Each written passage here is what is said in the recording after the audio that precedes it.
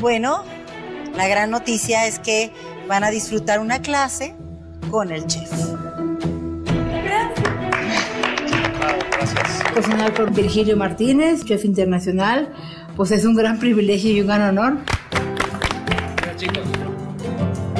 Bueno, vamos a hacer un plato que habla mucho de biodiversidad, habla mucho de Perú, puede hablar mucho de México, puede hablar mucho de Latinoamérica. Por eso hemos traído, hemos conseguido probablemente productos que ustedes primera vez que ven, ¿no? Desconocidos. Esa es la oxalis tuberosa, la oca.